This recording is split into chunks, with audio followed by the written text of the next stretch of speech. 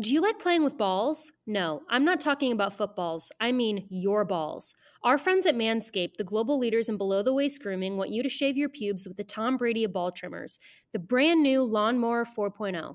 Only the GOAT technology for the greatest balls of all time.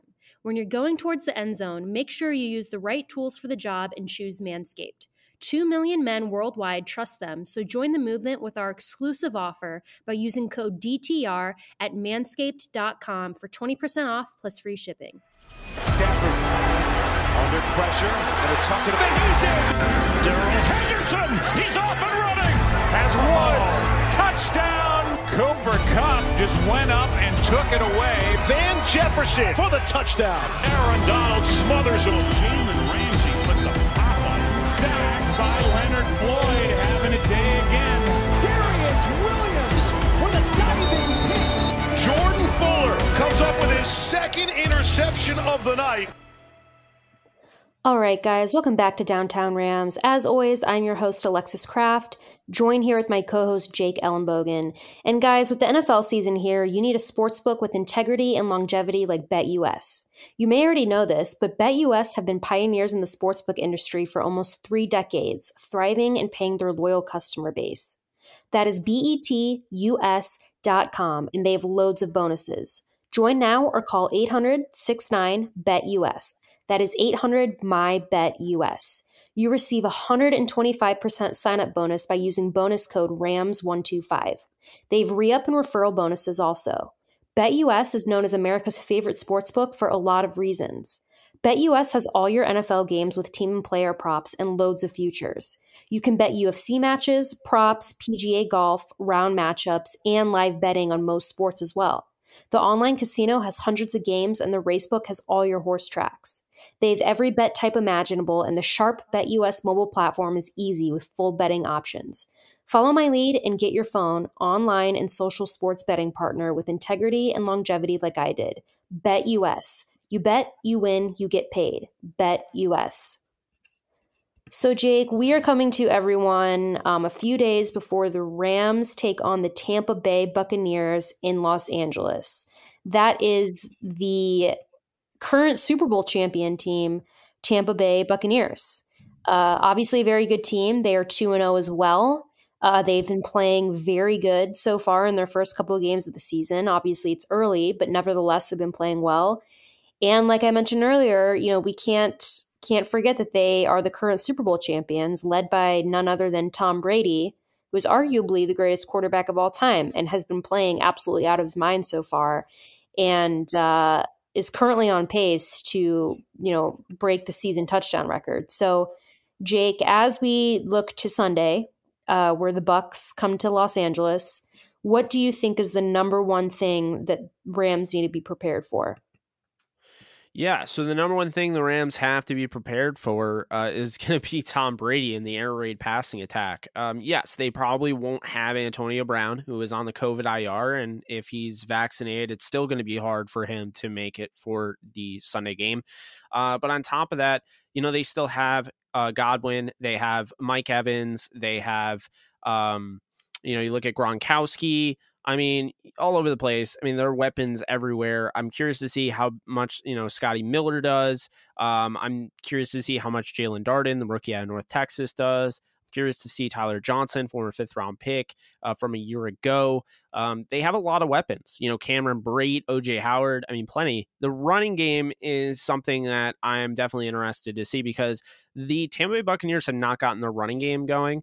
Um, they have obvious talent there Ronald Jones, Leonard Fournette, and Giovani Bernard, who I expected to have a bigger role this year. Uh, but if you want to beat the Buccaneers, you're going to have to score more than them and you're going to have to stop Tom Brady, get to him, hit him, you know, hit him a lot, hit him early on, um, you know, like you did last year.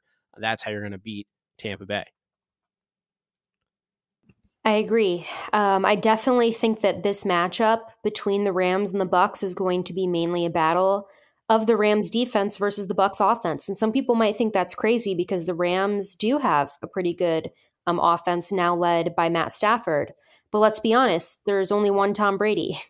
And with the way that he's been playing and the way that the Bucs offense has been playing and the amount of weapons that they have on that offense, it's going to be a major test for our defense. And we have some really good players on our defense as well. Obviously, Aaron Donald, Jalen Ramsey, Darious Williams, Leonard Floyd, and they're going to be going up against Tom Brady, you know, Chris Godwin, Mike Evans, uh, Gronkowski, uh, Leonard Fournette, Ronald Jones. So it, it is going to be an interesting matchup uh, whenever that happens. And I think you know, you mentioned having to stop Tom Brady. I think you're absolutely right. I think that's agenda number one um, is going to be stopping the passing attack. And in a way, you could almost say that that's a little bit of a relief for the Rams because it seems the past couple games, the run defense has really been what's been killing us. Um, but at the same time, it's still never an easy situation going up against Tom Brady in the passing attack. Um, Jalen Ramsey uh, obviously is the the kind of the big star in our secondary. You know, Darious Williams. You know, we have good safeties as well. Uh, Taylor Rapp's been playing well. You got Jordan Fuller, Terrell Burgess uh, moving in there. Um, you know, uh, Robert Rochell, David Long. I'm not sure. It's slipping my mind if he's going to be available for the game Sunday. I don't think he is. He's injured, right? Um, David Long, he is healthy. Okay, so he will be playing. Yeah. So we've got all these guys in the secondary, and I think they're going to really be put to the test by Tom Brady. Um, if there's any quarterback that's not going to uh, be afraid to test a guy like Jalen Ramsey, it is Tom Brady. So I'm not saying that Tom Brady's just going to go after Jalen the whole game, but I do think that Jalen Ramsey is going to get more targets in this game than he has so far this season. Uh, so that'll be something to watch out for. And I think that our secondary is going to have to be really on their A game uh, against Tom Brady in the way that he's been playing, uh, because he's just been playing honestly even better than he was last season, and they won a Super Bowl last season. So I think it's going to be a really good game. Um, but yes, I think the definite number one on on the Rams' defensive list is going to be stopping the passive attack, uh, the passing attack. Now, I kind of want to talk about the run defense a little bit. I think the Rams' run defense uh, when we we talked about this last episode, but against the Colts, there was times where they just looked really disoriented. It was very strange. I have talked about the Rams' run defense a lot. Not the biggest fan sometimes of of the way that they play. Uh, but do you think Tampa Bay, and we talk about the passing attack, they're obviously going to utilize that. They have Tom Brady. He's been doing very good this season in the passing game. But Tampa also has Leonard Fournette and Ronald Jones, who are two pretty good running backs. Do you think that Tampa going against the Rams, um, maybe they saw some clips from last week, maybe they've done their research. Do you think that they're going to maybe rely a little bit more on their run game than they normally do? Or do you think that they are going to kind of just stick with using Tom Brady in the passing attack? Well, I think they're going to try to get the run game going. Um, that's definitely been you know, an area that they've been trying to improve in because once they can get that going, if they can, it's only going to help the passing attack, uh, you know, with the play action. Right now, no one's going to buy in the play action because, I mean, let's call it like it is. They're not running the football really. Um, I also, you know, I think the the Rams' run defense was really good last week. Uh, it was really just Carson Wentz and you know his ability to escape the pocket, make things happen, break break sacks, break tackles, what have you, uh, that made it look like it wasn't. But really, that's not really the running game, so to speak. Um, you know, they held Jonathan Taylor to 3.4 yards per carry, and he, I think he's a lot better than the backs that Tampa Bay has. So I'm not too worried about the running game.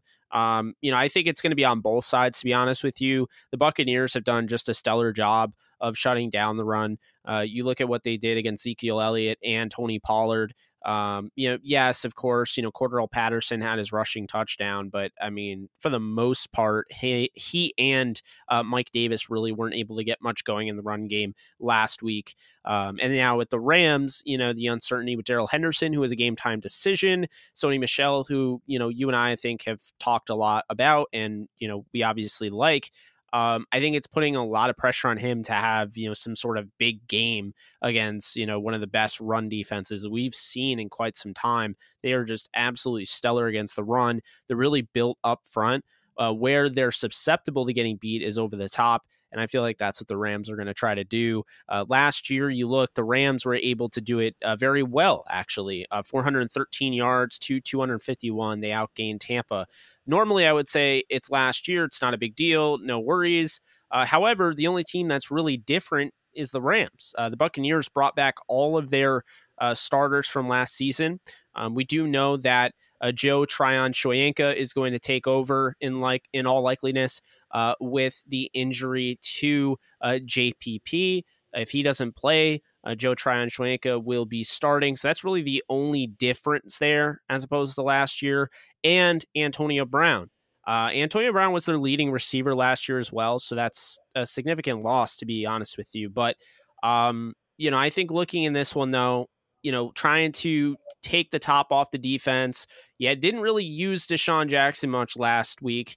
Uh, so he'll have an opportunity. Van Jefferson will have an opportunity. You have Kupp, Obviously, he's playing his best football. Uh, you have Woods. Um, then, of course, you have, you know, your tight ends and, and all of that.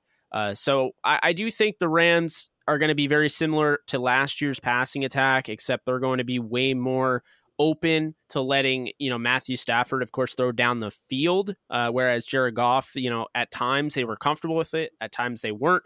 Um, they did average 5.8 yards per play last year, whereas Tampa only averaged 3.7. So Brandon Staley's Rams defense really did a nice job, uh, you know, really stifling uh, the Tampa Bay Buccaneers. Uh, the Rams also won the possession uh, battle uh, by almost seven minutes last year. Um, and that would be the first time all season which they've won the possession battle. Surprisingly, Sean McVay has made a point to really doing that throughout his uh, tenure with the Rams. But since Stafford joined, that really hasn't been a big deal for them. Yeah, and you know, you bring up what I was actually going to bring up next about this Tampa Bay team is that they brought back everyone uh, from their Super Bowl winning team which is not always the case. A lot of times you see players leave for, you know, bigger contracts or they think it's time to move on or something like that. But Tampa Bay is bringing everybody back. And, um, you know, I'm not trying to give Tampa Bay too much credit, but I think that that um, is really unique. And I think that that was a really good move on their part. I do think they have a really solid team. And it's, it, it's going to be interesting to see tomorrow. Um, uh, I had a point I was about to bring up about from something that you just said. But, anyways, uh, we kind of talk about Tampa's offense going against our defense. But I want to talk about our offense for a second. Um, and I'm going to start with uh, Darrell Henderson because apparently the word as of today is that he's going to be a game time decision as of Sunday, which is two days away from now. Um, I personally am under the impression that the Rams will not play him. I think they want to give him extra time to heal. What are your thoughts on that? Life is back on sports betters, and BetUS has your NBA, NHL, UFC, PGA, and yes, NFL betting lines up on their 27th year and live betting on all of it. Log into BetUS, that is B E T us.com or call 800 792 3887. That's 800 79 BET US bet US for 125% bonuses with promo code RAMS125. Customer service pros are ready to get your phone, social, and online sports betting kickoff started now. Play with the proven mainstay in the industry, BetUS. You bet you win, you get paid. BetUS.com. Ready for an out of world experience, fellas? Look no further than the Performance Package 4.0 from Manscaped. That has just taken off in not only the USA, but Canada, the UK, across Europe, Australia, South Africa, and Singapore. Inside this package, you'll find their Lawnmower 4.0 trimmer, Weed Whacker ear and nose hair trimmer, Crop Preserver Ball Deodorant, Crop Reviver Toner, Performance Boxer Briefs, and a travel bag to hold your whole solar system in. First scheduled for liftoff, new Lawnmower 4.0 trimmer, this spaceship is here to guide you on a journey to trim your body, balls, butt, and even your anus. This fourth generation trimmer also features a cutting edge ceramic blade to reduce grooming accidents thanks to our advanced skin safe technology. The Lawnmower 4.0 has a 7,000 RPM motor and a new multifunction on and off switch that can engage a travel lock and is even waterproof. The Lawnmower 4.0 also has a 4000K LED spotlight you can turn on and off when needed for a more precise shave throughout your travels across the universe. The Performance 4.0 also includes the Weed Whacker. It's like having a little astronaut to chop your worst weeds up the top of your nose and your ears. The Weed Whacker is also waterproof and uses a 9000 RPM motor powered 360 degree rotary dual blade system. This nose and ear hair trimmer provides proprietary skin safe technology, which helps prevent nicks, snags, and tugs in those delicate holes. Don't forget about the crop preserver, ball deodorant, and the crop reviver to help your little planets be on their A game while feeling the sun's heat.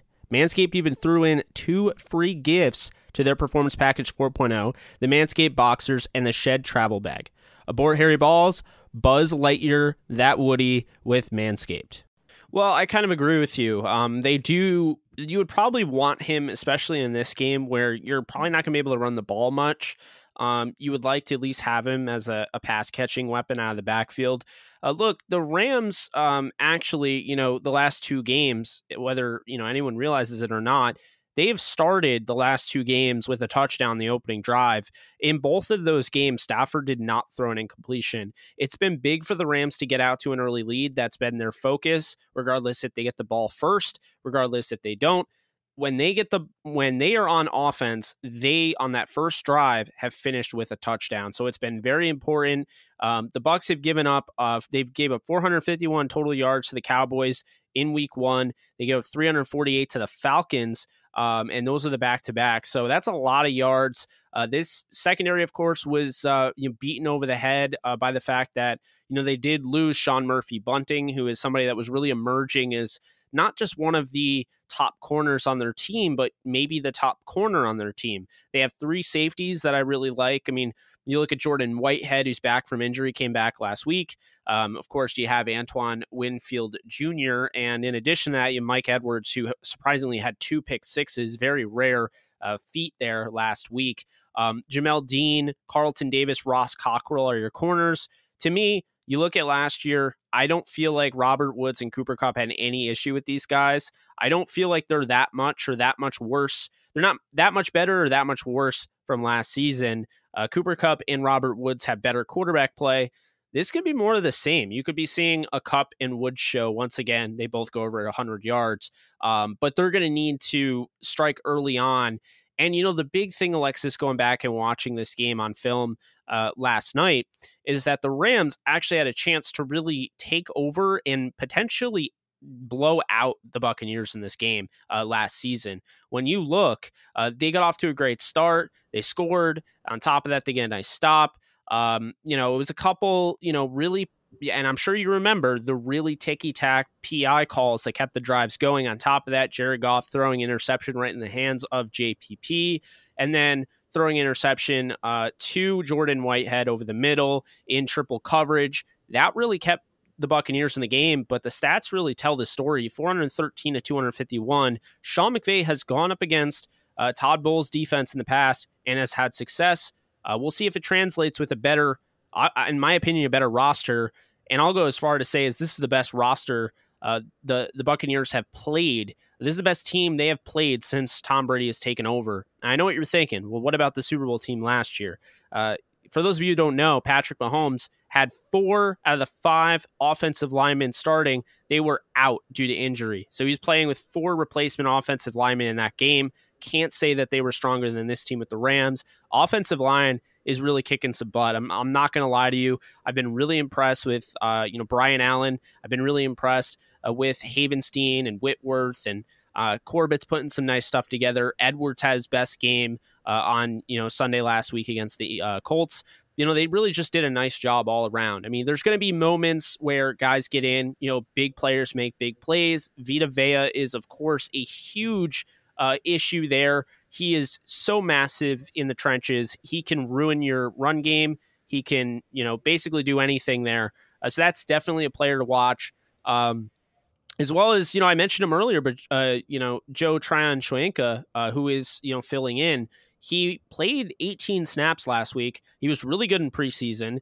I, I believe you liked him in the draft coming out of Washington. Uh, he's a good player. So this is a huge opportunity for him. Um, and I would be remiss if I didn't bring up Rob Gronkowski on the offensive side of the ball. To me, he's the key.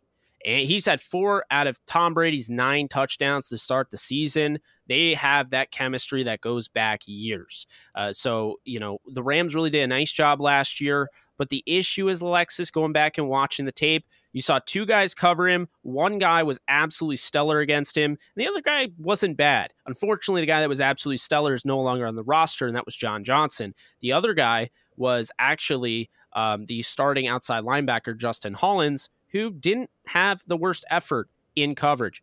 Uh, so we'll see what their uh, plan is. I would expect it's either going to be Jordan Fuller or uh, you know a mix of Jordan Fuller and Justin Hollins, or you know maybe one or the other. Uh, I don't know what your thoughts are on that, but that's kind of how I see that going with Rob Gronkowski. Yeah, I mean, I think he's obviously someone to look out for. I mean, he's still playing at a very high level. I mean, he it was either last game or the game before that he got multiple touchdowns in one game. So I think that, you know, as far as weapons go on that Bucs offense, I mean, it's crazy because you say Antonio Brown's out, right? But they've got three other guys just in the receiving corps that are absolutely insane. And Mike Evans and Chris Godwin and, and Gronkowski. And then we mentioned the running backs, Fournette and Jones. So it's going to be really interesting to see how the Rams decide to kind of uh, shut down all their weapons. Uh, but I also agree with you when we talk about our offense. I do think that the Rams offense um, has a lot more weapons than we did we went, when we went up against the Bucs the last time. And I think that Matthew Stafford is obviously one of those weapons, and I think that he uh, is going to play very well against their defense. Um, again, I do think the Bucs have a good defense. I think they are. Uh, very talented. However, I think so is our offense. So while it might not be a, a flashy um, kind of battle, like I think the Rams defense versus the Bucs offense is going to be, I still think that our offense is going to be productive. I, I, you know, I'm not saying it's going to be our easiest matchup by any means. It's going to be a lot harder than it was last week against the Colts or in week one against the Bears. But I think if everyone plays well and plays like they have been, I think we're going to have a lot of success. And I personally think we're going to have a lot of success in the passing game. Um, I think the strength of that Bucs defense is up front, and I think that Matthew Stafford is going to be throwing the ball even more than he did um, in the first uh, couple weeks. But we'll see. I, I, still think the main matchup is with our defense and their offense, um, but I, I'm not really worried about our offense, to be honest. Yeah, you know, I, I think like looking at last year, keep in mind when the Rams played the Bucs, uh, the Bucs had yet to fully get their offense, you know, clicking. Right? They they had a little bit of time with Antonio Brown. He had joined the team later on the year. Um, it really started clicking after the Rams and Rams. They lost to the Rams 27-24, and then they lost to the Chiefs 27-24. They haven't lost since. I actually did some digging in that and research. I think context is needed. Um, you know, look, I'm not trying to take anything away from a team that just won a Super Bowl, but when you look at their opposing their their opponent's record, it's 66 and 62 going back to 2020 in teams that they beat. In my opinion, you know, you, you beat the Lions once. They were 5 and 11. Stafford left the game early on. Uh, you beat the Falcons, who are 4 and 12 twice, and barely beat them on the road against Raheem Morris when he was the interim head coach, uh, 31 27. Uh, you beat the 7 and 9 Vikings. You beat the Washington football team at 7 and 9 with a backup quarterback, 31 and 23. You beat the Saints, who were 12 and 4, uh, but they had Brees in his final game, and he was clearly not. Uh, fully healthy in that one. Uh, you beat the Packers uh, without David Bakhtiari, 31 26. And then you beat, you destroyed the 14 and 2 Chiefs team, uh, 131 to 9 a team that had, you know, four out of the five starters out for the game. So I think, in a sense, it's this recency thing where I'm not trying to say that the Buccaneers aren't a good football team because I think they're number two in the league, and I do think the Rams are the best team in football right now. But you know, for people saying this is an unbeatable team, uh, it, they're very beatable. I mean, the Rams beat them last season, um, and I think this team is better than the team last year. Now, you can run the idea that the team last year, the defense was a lot better at that point in the season, having played all those games, having gelled, you know, having gotten all comfortable uh, than what they are right now, and that's fine. I expect this to be a high scoring game, um, but I do expect the Rams to win this one. And for you know, for people thinking that this is unbeatable, because I've seen um, you know different analysts saying that you, you can't beat the Buccaneers. Cowboys almost beat the Buccaneers week one of the season on the road, um, and it came down to you know a couple you know really bad plays, including a dropped CeeDee Lamb catch over the middle that turned into an interception. Um, so I mean, it's definitely it, it's an interesting thing here because this is a team that's considered you know football royalty right now, but I feel like they are beatable, and this is also the team that one of the two teams that beat them down the stretch last season. So it, it's it's definitely going to be uh, fun to watch. They also intercepted Brady twice last year, so the, you know they had his number to an extent. They had a forced fumble that was called an incomplete pass. It was called back that could have absolutely changed the game. Um, you know the the familiarity is kind of interesting because you have you know uh, Raheem Morris who was once coach of the the Buccaneers. You have Sean McVay who got his NFL start with Tampa.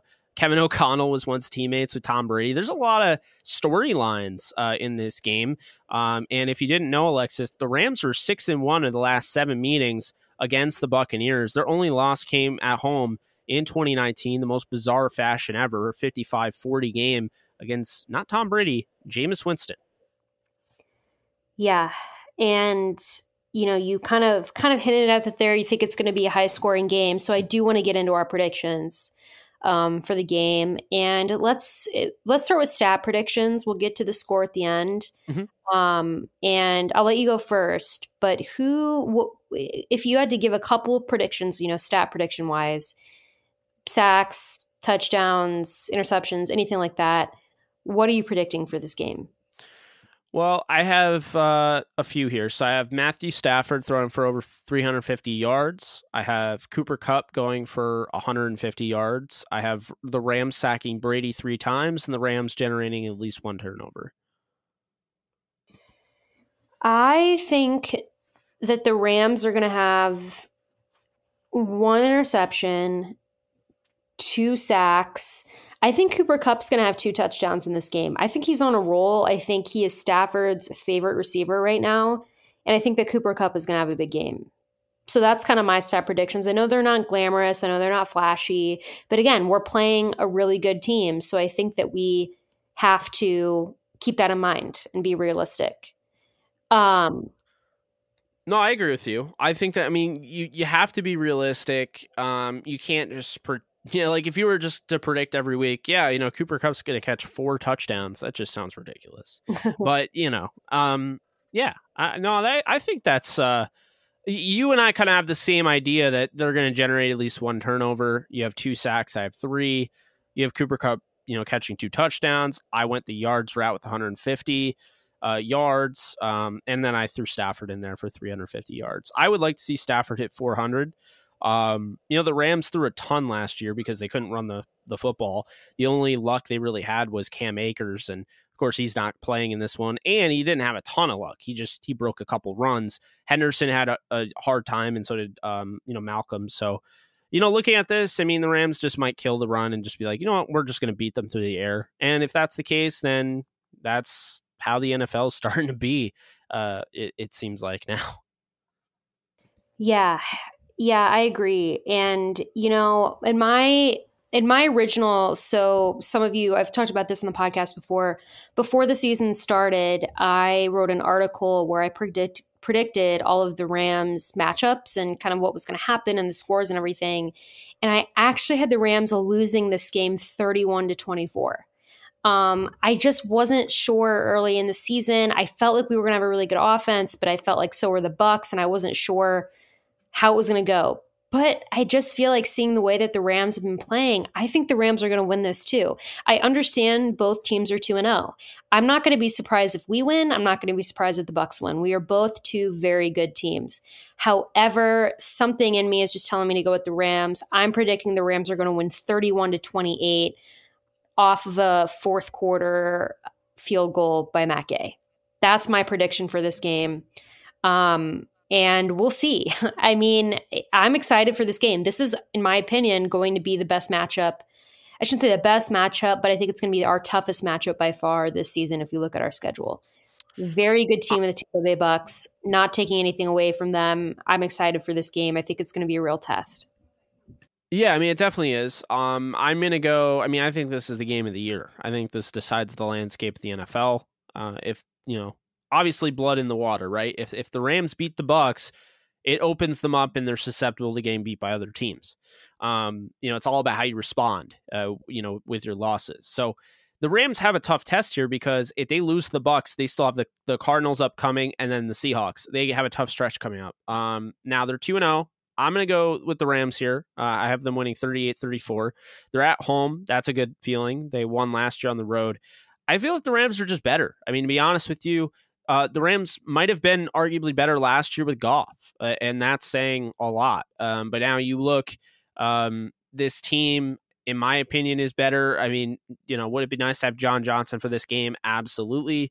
But really, that's my only weakness. I mean, maybe having Cam Akers wouldn't hurt either or you know a healthy Darrell Henderson because even if he plays, we know he's not going to be 100. Uh, percent So I look at this game and I just think I could see Stafford going down the field, winning the game uh, on a touchdown. Uh, so I have the Rams 38, uh, 34. Um, and and you know I think it's going to be a fun one, and I wouldn't be surprised. I mean, if it's anything like last year, and uh, the Rams don't have those miscues and Tampa sputters, it could get ugly because it's one of those things where you know, with these offenses, it's going to be so hectic and you're going to probably have to keep up and, and either get stops or you're going to get lapped. And I feel like the Rams, you know, with that momentum building, uh, you know, they could definitely end up lapping, quote, quote unquote, lapping the, uh, the Tampa Bay Buccaneers in this race to however many points it takes to win this football game. I don't think it'll be 54 51 or anything like crazy like that. I don't think it's going to be like the Chiefs game, but if it was, that would certainly be a treat. Yeah, well, we'll see. I mean, we're a couple days away, guys. Uh, we will be back, obviously, with an episode um, either that night or Monday, um, recapping the game. Uh, but until then, guys, as always, if you like what you hear, please like and subscribe. You can follow me on Twitter at the Alexis Kraft. You can follow Jake at JK Bogen. And guys, just a couple more days and it's Rams game day. But until then, stay safe, take care, and go Rams.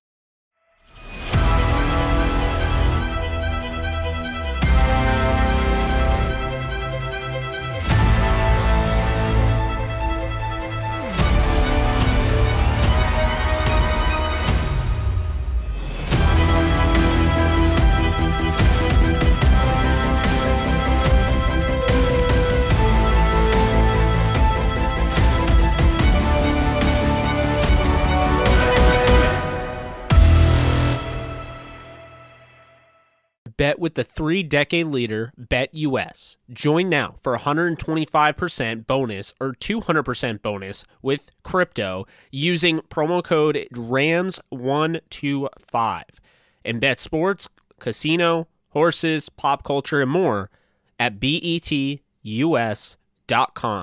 You bet, you win, you get paid. BetUS. Get 20% off and free shipping with the code DTR at manscaped.com. That's 20% off with free shipping at manscaped.com and make sure to use code DTR. Unlock your confidence and always use the right tools for the job with Manscaped.